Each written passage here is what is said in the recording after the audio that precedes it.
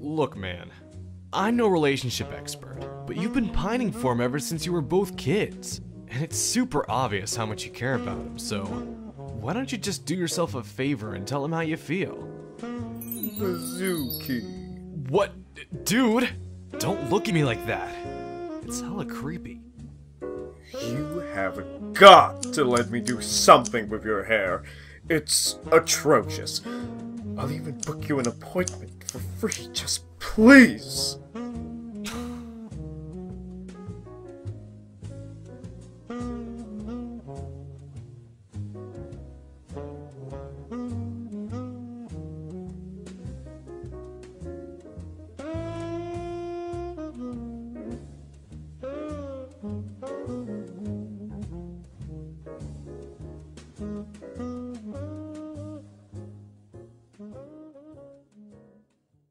A fucking asshole.